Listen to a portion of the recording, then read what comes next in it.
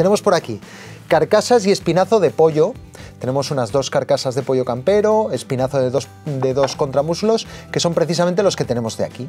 Entonces sacaremos la chicha y el sabor a todo y nos quedaremos con la chicha del pollico para que haya tropezones. Y esto es un hueso de jamón que tenemos por aquí para dar un toquecito sandunguero. Eh, en vez de sal le ponemos hueso de jamón y así damos, además de sal, sabor. Luego tenemos verduricas. Os voy a contar un poco la filosofía. Mitad de las verduras van a servir para darle sabor a nuestra sopa y con la otra mitad las trocearemos bien pequeñitas y nos servirán para poner los tropezones. Puerro, zanahoria, col, que me encanta el sabor que deja la col, cebolleta, ajetes, jengibre, romero, laurel, peladura de limón, sal de apio, aquí tenemos la parte verde del puerro y la parte verde de los ajetes que no hay que tirarla, que tiene sabor y para una sopa más, y luego tenemos 200 gramos de esta pasta, mini tiburones, es así como se hace llamar. Y luego tenemos también, yo tengo una teoría en cuanto al nombre de esta pasta, luego os la cuento. Y luego también una cebollita que ya tenemos picada. El resto vamos a coger solo la mitad y la picaremos bien finita.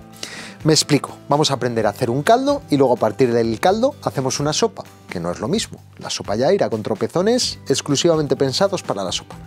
Creo que me explicaré mucho mejor con acción trepidante. Lo primero de todo, vamos a coger por aquí todo lo que va a llevar la sopa. Entonces ponemos carcasas de pollo, por cierto, de alimentación certificada, como podéis apreciar.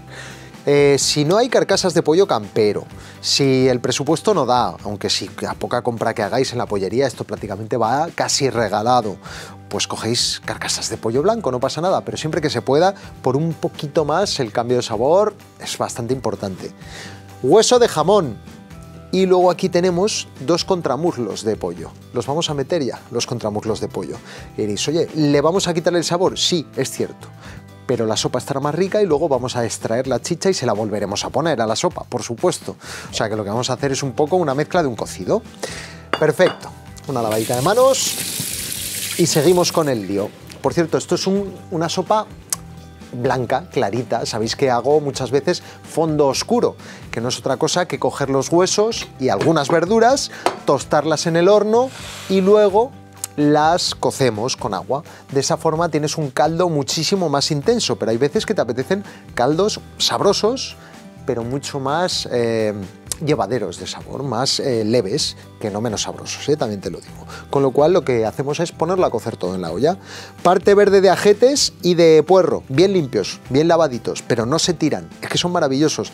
Y lo que son los ajetes en sí, me los guardo para ponerlo como tropezones. Romerito, laurel, con todo esto cómo va a salir algo malo. Cebolla, pues mira, esta enterica va para adentro. Y luego la que tenemos picada irá de tropezones la col. La col deja un sabor en la sopa que a mí me parece flipante, pero flipante. Así que le ponemos col y luego picadita pondremos un poco más de col. Zanahoria, pues mira, una para que suelte todo su sabor y la otra picadita en forma de tropezones. Aquí me he dejado puerro, con, aún tiene un poquito de parte verde, mira. Voy a aprovecharla y echo esa partecita verde por aquí y me quedo con la parte noble para los tropezones. Jengibre, tres rodajitas de jengibre. Estoy demostrando que con, no sé, con prácticamente lo que se pueda tener por la nevera, por el frigo, es súper fácil hacer una sopa deliciosa y sabrosa. Y diréis, oye, que no tengo tiempo. ¿De verdad hace falta mucho tiempo para hacer lo que estoy haciendo? Para llenar una olla express de cosas que tengamos por la nevera con un poco de talento, que no esté nada malo, y después pues ponerlo a cocer con agua. Es que no hace falta mucho tiempo para eso, lo que hace falta es previsión, acordarte una horita antes, pero por lo demás tiempo no es necesario. Mirad, esto es un buen truco. Peladura de limón en una sopa, sí, sí, en una sopa, una y dos, y deja un aroma maravilloso. Con el jengibre está tremendo. Me falta, que lo tengo por aquí, me lo he dejado esta vez. Voy a coger el molino de pimienta, y voy a poner por aquí unos granicos de pimienta negra. Madre mía, Iranzo, que te carga la inducción. ¿Para qué queremos más? Unos granicos de pimienta negra que también sueltan su saborcito y da mucho gozo. Enroscamos sin que se nos caiga. Y aquí tenemos, es decir, esto de sopa boba tiene muy poquito. Esta es la sopa 2.0. Y viendo una sopa de estas, por cierto, le voy a poner un poquito de sal de apio. En vez de rama de apio, muchas veces lo que hago si no tengo apio que me guste, le pongo sal de apio y así consigo ya un poquito de sal más el sabor intenso del apio en polvo, que es lo que es la sal de apio. Vale, ahora llenamos esto con agua. No hace falta agua mineral ni de los fiordos noruegos. ¿eh? Estamos haciendo cocina reconfortante, económica y de resistencia, demostrando que podemos comer de maravilla por muy poquito dinero. Y en la olla express, para ahorrar también en la factura eléctrica. Creo que últimamente siempre ha sido máxima de la pera. No sacar, pues no sé, productos de lujo, ni caviar, ni aceite de girasol, ¿verdad? Ni gasolina, ni diésel. Cocinamos aquí con productos humildes, pero muy buenos. Bueno, ya sabéis por qué digo todo esto. La historia es que podemos aprovechar incluso verduras que no están en su mejor momento para hacer la mejor de las sopas del mundo. Que esto es así. ¿Cuánta agua hay que poner? Yo más o menos tengo cogido el tino, pero es imposible hacer una buena sopa si pones 25 litros de agua y un ala de pollo. Es una exageración, pero es para que me entendáis bien. Lo que quiero decir es que es muy importante que más o menos haya el triple de agua, o un poquito más si quieres, que de sólidos. Pero no podemos poner ahí 25 litros de agua para muy poquita cosa, para unas peladuras de zanahoria y una garra de pollo. Así es imposible que salga una cosa sabrosa. Y en ese caso, siempre recomiendo que vayas a un Tetrabric, que hoy en día los hay muy buenos. Pero se trata de ahorrar y al final te paras a pensar un poco en el precio de coste que tiene un litro de caldo de brick y dices tú, uy, si es muy barato, si me cuesta 3 euros uno que es bueno. Pero es que aquí tenemos como aproximadamente 8 litros de sopa que puedes congelar de caldo, que luego nosotros vamos a hacer sopa, y el precio de coste de todo lo que hay aquí dentro de verdad es ridículo. Son esos 3 euros de los que hablábamos, pero hemos multiplicado por 8 la producción, ¿vale? Aun contando la luz de la inducción. Voy más allá. Muy bien, por aquí simplemente pongo de momento un fuego un poquito más alto. Dejo la tapica puesta así, cierro y voy a dejar que salga vapor para darme cuenta de cuando empieza a hervir. Cuando empiece a hervir, bajaré el fuego, puesto que he puesto la olla expresa hasta arriba del líquido, ya lo sabéis, que me gusta hacerlo así. Cuando llegue al hervor, bajaré al 2, que la inducción al 2 prácticamente no consume, y lo dejaré ahí 4 horitas. Diréis, cuatro horitas, tal. Pasa nada, como si quieres dejarlo por la noche. No pasa nada. Si precisamente, si tienes la tarifa Valle, que ya hoy en día hay que hablar de estas cosas, pues cocina por la noche. Cuando se lo digo a la gente muchas veces que dejo cocinando cosas por la noche, me dicen, no dormiría tranquilo. A ver, si tienes una cocina de gas, pues hombre, yo entiendo que si no hay una válvula de seguridad se apaga el fuego y hay gas saliendo. Y en ese caso, pues igual pues igual sí que es un poco peligroso. Pero una inducción, tú le puedes poner hasta el tiempo. Y la electricidad por la noche va más barata. Y no os preocupéis, que aquí hay 10 litros de líquido. Que es que esto no se evapora al 2 literalmente ni en un mes. Tú tienes un mes esta olla cociendo, en una olla express que además no hay pérdida de vapor, y te prometo que va a seguir habiendo prácticamente el mismo líquido. Con lo cual, por una noche que se quede cocinando, yo sé el consejo que os doy. En casa, cuando digo esto siempre, oh, yo no lo haría tal. Y siempre está Marta al lado, mi mujer, cuando hacemos un curso o algo, y dice Marta, no, yo al principio tampoco dormía, pero me he dado cuenta de que no pasa absolutamente nada. Y encima te levantas por la mañanita y te puedes apretar un tazón de caldo, y encima huele la casa de maravilla, y encima consumes menos. Con lo cual, hacedme caso. Yo no te digo que cocinar por la noche obligatoriamente, pero que, que puedes hacer muchas cosas mientras cocinas. Por eso digo que con un poquito de organización, tu sopa no tiene nada de boba. Tu sopa va a ser una sopa 2.0 maravillosa. Y si esta sopa la pilla Mafalda, ya veríamos si no le hacemos cambiar de opinión. Bueno, por aquí, puerro, zanahoria, más col. Voy a coger también los ajetes, que los tengo por aquí. La cebollica está picada, pues venga, lo tenemos todo. Me voy a quedar trabajando un poco con el cuchillo y voy a picarlo todo en trocitos menudos que luego de gustico metérselos en la boca a cada cucharada, que es lo que tiene de maravilloso una sopa, que cada tropezón va en una cucharada.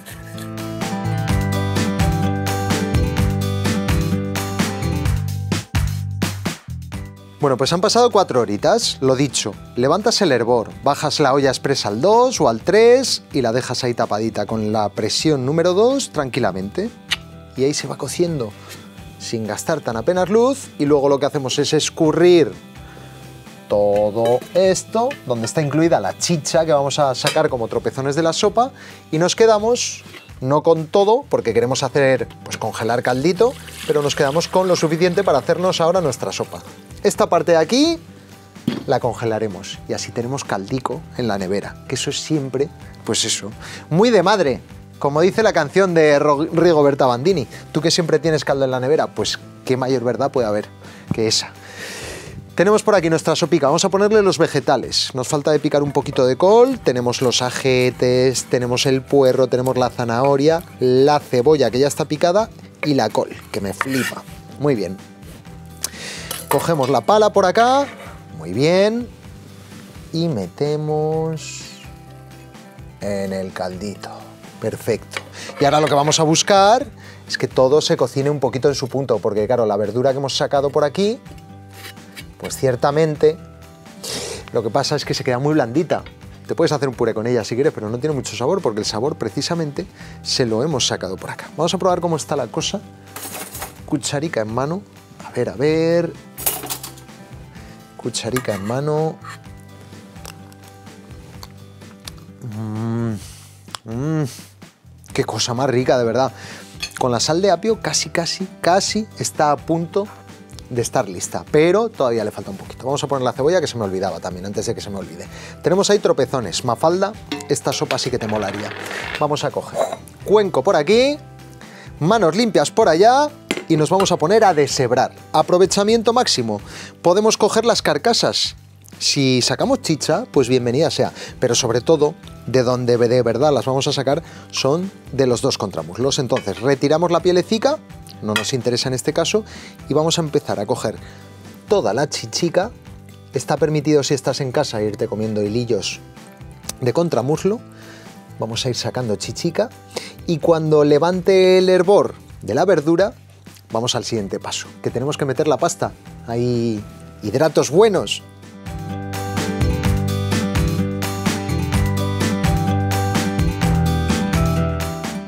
Tenemos ya el hervor ahí, así que vamos a atacar con la pasta. ¿Qué pasta hemos elegido? Cualquier pasta pequeñita nos vale. Esta ya sabéis que se llaman tiburones, o en este caso mini tiburones, que son más pequeñitos. ¿Por qué?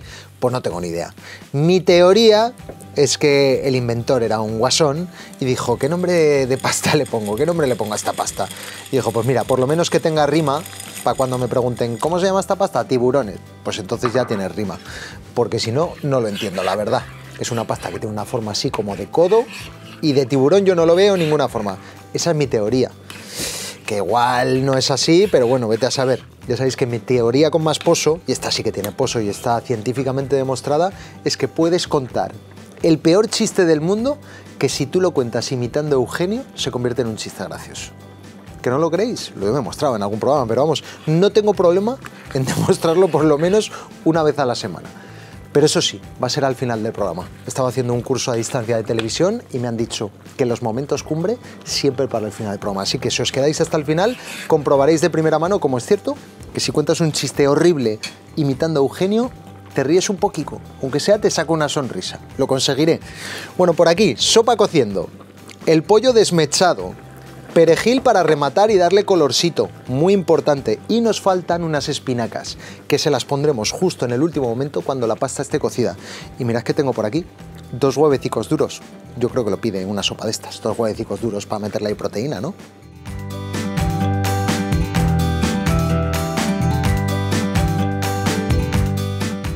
Maravilloso. Fijaos, pasta cocida, verduritas también, tenemos caldo, que es una cosa importante. Hemos puesto 2 litros de caldo para 300 gramos, para 200 gramos de pasta, perdón. Porque no me digáis que no os ha pasado, es un clásico, y me pasa a mí todavía, y soy cocinero. Lo de que pones pasta, sobre todo si es pequeñita como esta, o más pequeña incluso, los perdigones, la sopa maravilla y todas estas, y al final acaba siendo eh, una fideuá más que una sopa. O sea, desaparece por completo el caldo. A todos nos ha pasado, sintámonos identificados. No pasa nada. Todo es rectificar. También os digo una cosa, si lees el paquetico te suele poner las proporciones. Somos a veces un poco, nos cuesta leer el paquete, ¿verdad? Pues somos a veces un poco zoquetes. Bueno, ponemos por aquí las espinacas. Con el calor residual tenemos más que suficiente para cocinarlas, para que pierdan esa sensación de crudas, se ablanden un poquito y chispún, ya lo tenemos. Tenemos nuestra sopica, míralo. Sabor de hogar. Vámonos al plato. Ya, basta ya de subterfugios. Quería decir esta palabra y no sabía cómo. Lo he conseguido. Tenemos plato hondo, tenemos el pollico desmechado y fijaos lo que tenemos por aquí, un huevo duro, cocido únicamente durante 7 minutos. Y el resultado es este. Es un bubalú, no es un huevo duro. Fijaos, yema tierna a más no poder. Luego lo ponemos ahí, lo abrimos en el plato porque va a ser abrirlo y empezar a llorar yema de huevo. Puede haber cosa más bonita. Eso sí que es un milagro, lo de llorar yema de huevo. Venga, vamos a emplatar. Cacico por aquí, estoy nervioso, no es para menos. Ponemos un buen perolón de nuestra sopa. Ahí está, con todos sus tropezones. Muy bien. Coronamos además con el pollico desmechado. Por acá está templadito, pero luego la idea es sacarlo así a la mesa y que el comensal se lo termine de mezclar todo. Y ponemos encima, con mucha delicadeza, este maravilloso huevo mollet, que es así como se llama. Y ciertamente el nombre está bien puesto porque es como un mollete, de los que te aprietan de aquí o de abajo, no importa, pero así blandico y tierno, ¿verdad? ¿Lo abrimos? ¿Abrimos el mollete? Pues venga, qué bien suena eso. La película picantona de los años 80 suena. Abrimos el mollete y mirad qué maravilla. Lo voy a poner así para que lo veáis poquito a poco, ¿vale? Mirad, qué auténtica maravilla. Abrimos y magia. La yema haciendo de salsita para todo ese pollo y para toda esa sopa. ¿Qué os parece la sopa 2.0? Con estas manitas, con cosas de la nevera, ala, peli mantita. Un momento, un momento, que nos falta el postre.